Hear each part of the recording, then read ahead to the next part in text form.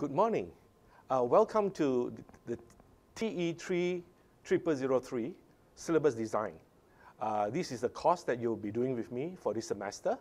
Um, so let me uh, take this opportunity first to welcome you to this course.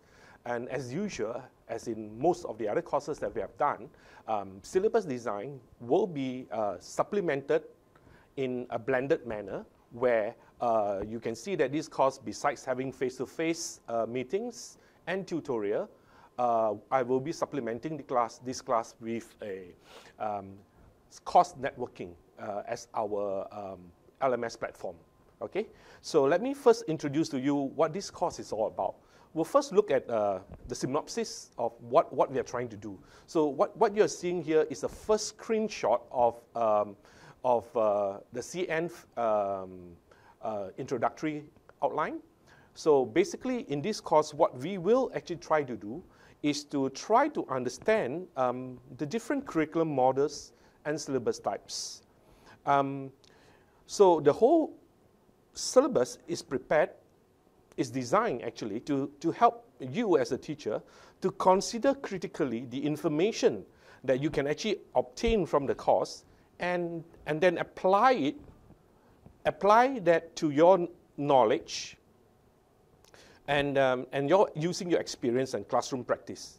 Okay? So you, you will be exposed to um, mainly the principles um, involved in curriculum development or syllabus design, i.e. selecting, grading, and integrating the various components of a language syllabus. And then, having understood that, you will then learn to apply that in a, in a context where you will need to analyze actual syllabus that are practiced in Malaysia and in other contexts, and then apply that to your own classroom. So let's get to the learning outcomes. There are five major learning outcomes, and they cover a range uh, from, from lower cognitive to a much, very much high level of uh, cognitive uh, processing. So the first two outlines, basically, they, they, they require you to sort of uh, understand uh, uh, being able to differentiate between the concepts of curriculum and syllabus, and you're able to then compare and contrast the different syllabus types that we will come across uh, throughout this course, i.e. the structural syllabus, the notional functional syllabus, the skills-based syllabus, task-based syllabus, and content-based syllabus. Now, having done this basic or low-level uh, cognitive processing, we'll then move on to three other um, learning outcomes that will require you uh, the first one will require you to analyze um, the elements, the, the, the, key elements or the essential elements of a syllabus, the of syllabus design. Okay? Uh, I example, so for example, you need to look at the needs analysis conducted, the goals and objectives that has been set, the content selection and organization, and evaluation components.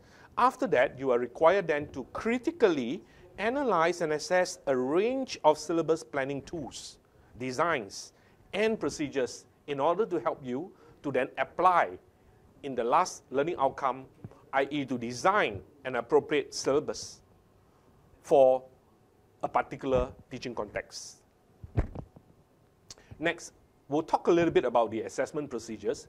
Uh, a whole range of assessment procedures are employed. Basically, there are four major types of assessment procedures. Uh, the first one, obviously, is the online participation, where uh, you're given 5%. So there will be tasks that you later visit CN, and you will have an idea what else you need to do. And obviously, there are a couple of assignments that you need to do, ranging from individual to pair to group. The first one will require you to do an individual assignment where you have to do a, a, an article critique. Then after that, you will then have to do a group presentation where you will contrast the Malaysian syllabus with another country's syllabus and then present your critical um, assessment of them. And the last assignment, which is what I call as a project-based assignment, where you will need to design a, a syllabus that will be relevant for a particular context that you have selected yourself. And obviously, um, the last uh, bit of the assessment procedure will involve you doing examinations, so there should be a mid-sem and a final examination. So all this will give you a total of 100 marks. Now the key references that we will be using for this particular course, there are two main course books that we'll be using. The first one that uh, we'll be using, obviously, as the name implies, will be um, David Nunan's Syllabus Design. Well, this book is slightly dated, but uh, it is the most relevant at this moment. And to supplement and, and to support this course as well, we'll be also be using um, um, Jack Richards' book called um, Curriculum Development for Language Teaching. So these are the two core textbooks. Um, other textbooks, as you can see in the list, uh, will be using as uh, supplementary uh, materials.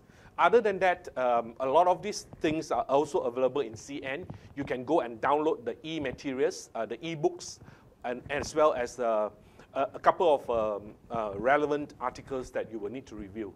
Okay, so that would so what we have done is I've basically introduced to you what this course is all about.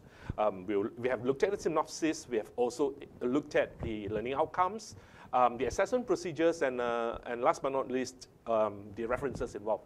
And with that, um, I hope to see you in class um, in the next session. I hope you're going to have an enjoyable time together. Uh, I will definitely need your full cooperation and a full participation from all of you. And with that, thank you very much. See you again in the next class.